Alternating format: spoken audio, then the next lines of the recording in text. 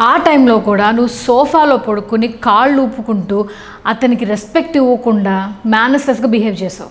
ఒక పక్క ఆదిరెడ్డి చెప్తున్నాడు నీకు గీతక్క ఆయన రెండు చేతులు జోడించి మరీ అడుగుతున్నాడు.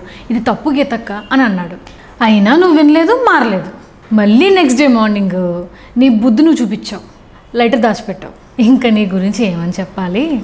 దానివల్ల ఆయన సిగరెట్ వెలిగించుకోలేక స్ట్రైట్నర్తో వెలిగిద్దామని ట్రై చేసి బిగ్ బాస్తో వార్నింగ్ కూడా తీసుకున్నాడు. అతనికి హెల్ప్ చేద్దామని పోయి శ్రీహాన్ కూడా బిగ్ బాస్తో వార్నింగ్ తీసుకున్నాడు.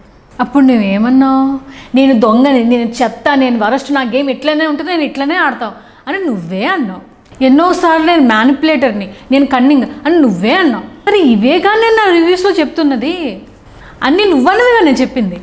నువ్వు ఒప్పుకున్నావు కూడా కదా? మరి అవే మాటలకి నీ ఆల్బిత్రి ఫ్యాన్స్ ఏంటి? కామెంట్స్లోకి వచ్చి చొక్కాలు చీరలు చింపేసుకుంటున్నారు? నువ్వు నీ గురించి చెప్పిందేగా నేను చెప్పాను. నువ్వు బయటకు వచ్చి ఏదో చేసేస్తావట నన్ను వేసేస్తావట నాకు భయం ఉందమ్మే. ఇక ఫైనల్గా బాలాదిత్య నీ గురించి ఒక మాట అన్నాడు. లోకమంతా దాన్ని నమ్మద్దు అన్నా నేను దాని బంగారు తల్లి అని అన్నాను అన్నాడు. దానికి నువ్వు ఎవరన్నారు ఎవరన్నారు అని అన్నావు. నీకు ఇంకా అర్థం కాలేదా గీతూ?